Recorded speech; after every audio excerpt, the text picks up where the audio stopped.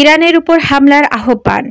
ইরানের উপর হামলার আহ্বান জানালেন ইউক্রেনের প্রেসিডেন্ট ভলোদিমির জেলোনস্কির ঘনিষ্ঠ এক সহযোগী।